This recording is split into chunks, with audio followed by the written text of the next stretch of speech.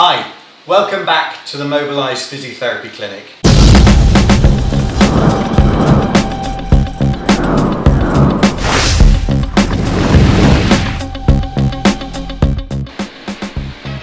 In this video, we're going to look at assessment of internal shoulder rotation. This is best done by putting your hand behind your back and then seeing how much you can bend your elbow.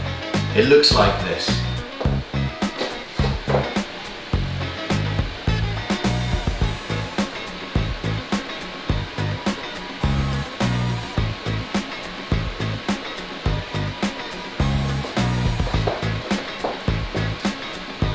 Remember to make a note of any crunching or cracking or pain throughout the movement before you move on to the next assessment video.